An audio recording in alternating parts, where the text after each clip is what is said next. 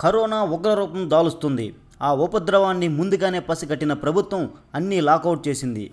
ఇక సినిమా వాళ్ళు షూటింగులకు విరామం ఇచ్చేశారు. అంతా ఇంటి దగ్గరే విశ్రాంతి తీసుకుంటున్నారు. అయితే విశ్రాంతి నేపంతో కొంతమంది కథానాయకులు కొత్త కొత్త కథలు వింటుంటే కొంతమంది దర్శకులు తమ తర్వాత సినిమాలకు సంబంధించిన కథలు సిద్ధం చేసుకుంటున్నారట.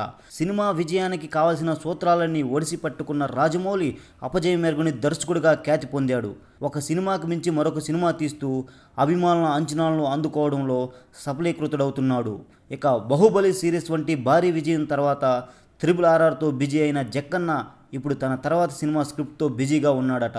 కరోనా కారణంగా త్రిబుల్ ఆర్ఆర్ నుంచి వచ్చిన విరామాన్ని నెక్స్ట్ మూవీ కోసం ఉపయోగించుకుంటున్నాడట.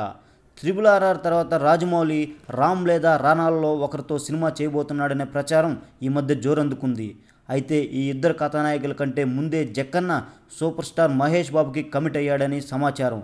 అందుకోసం సీనియర్ ప్రొడ్యూసర్ కేఎల్ నారాయణ దగ్గర అడ్వాన్స్ కూడా తీసుకున్నాడట. అందుకే ఇప్పుడు కరోనా కారణంగా వచ్చిన ఖాళీ సమయాన్ని ప్రిన్స్ మూవీ స్క్రిప్ట్ కోసం ఉపయోగించుకుంటున్నాడట జక్కన్న.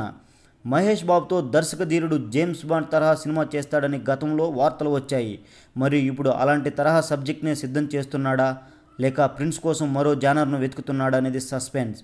ఏది ఏమైనా త్రిబుల్ ఆర్ఆర్ తర్వాత రాజమౌళి చేయబోయే తర్వాత సినిమాపై త్వరలోనే క్లారిటీ వస్తుందేమో చూడాలి. ఈ వీడియో కనుక మీకు నచ్చినట్టయితే లైక్ చేయండి షేర్ చేయండి సబ్స్క్రైబ్ చేయండి.